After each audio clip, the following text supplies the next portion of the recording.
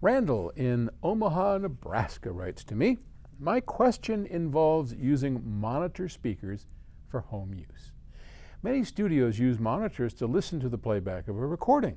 That way, they can make sure everything sounds clean and properly balanced according to the preferences of the artists and the engineers. In theory, wouldn't it make sense to use those same monitors for playback in the home as well? If they can be used to reproduce the recording, especially after editing in the studio, they should be able to do the exact same thing in your home, again, in theory. Yes. Yes, that is a great theory. And in my experience, it doesn't hold a lot of water. So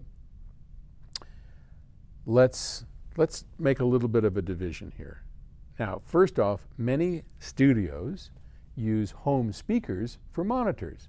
We do at Octave Records.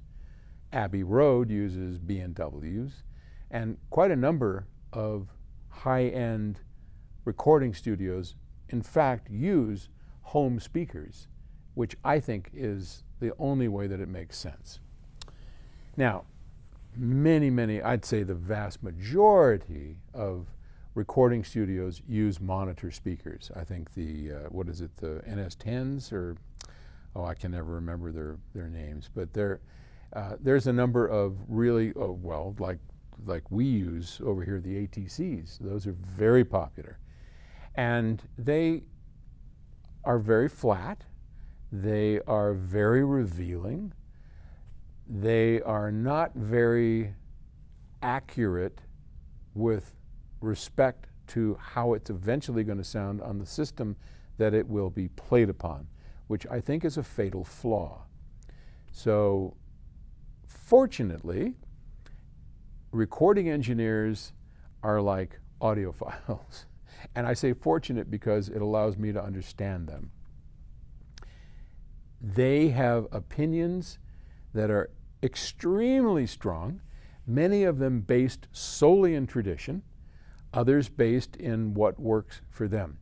My uh, longtime friend Keith Johnson, who is a wonderful recording engineer, reference recordings, he built his own monitors and they do exactly what he wants to get exactly the sound he's looking for, which he then knows when played back on a system like ours or any high-end system will sound terrific. Keith told me, he said, you would never want those in your home. They would sound like crap. They work for me because I'm looking for this, that, and the other thing that I know once I hit that, it's going to interpret well over here.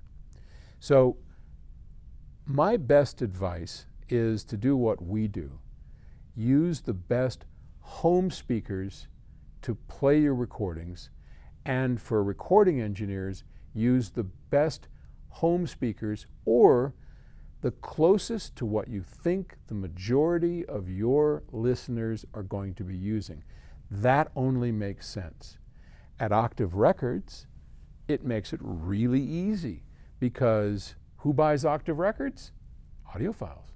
Our community buys Octave Records. They support us because they know we are trying to upgrade the state of the art in recordings as played back on high-end audio systems. And when you hear an octave recording on your system, you're going to go, whew, just suck in that breath. That sounds amazing. Well, yeah, we used an amazing high-end audio system to get it to sound exactly right. Now it just transfers over to your home and sounds exactly right. It's just something that makes sense. So that's my advice, and I'm sticking to it. All right. Thanks for the question, and good luck out there.